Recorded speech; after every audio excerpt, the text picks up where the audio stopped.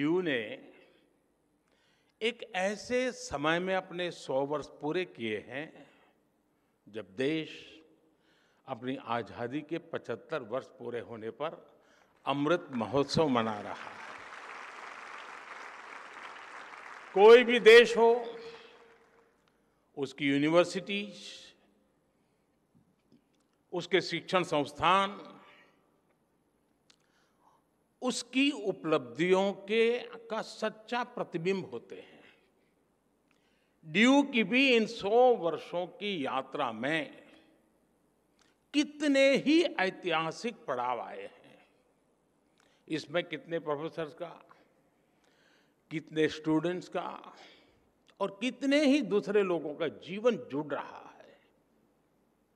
एक तरह से दिल्ली यूनिवर्सिटी सिर्फ़ एक यूनिवर्सिटी नहीं, बल्कि एक मूवमेंट रही है।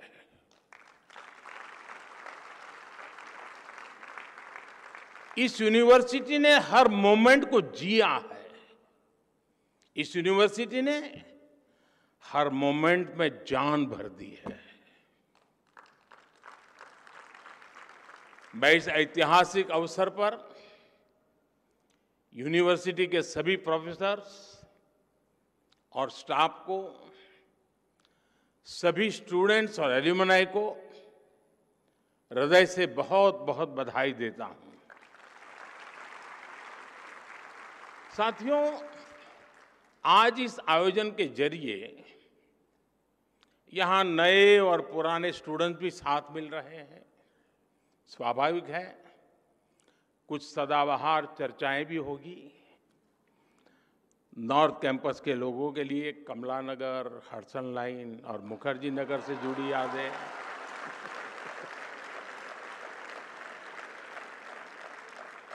साउथ कैंपस वालों के लिए सत्य निकेतन के किस्से।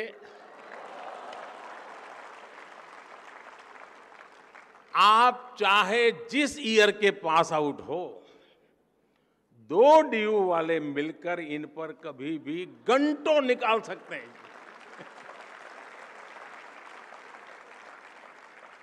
इस सब के बीच मैं मानता हूँ, डीयू ने सौ सालों में अगर अपने एहसासों को ज़िंदा रखा है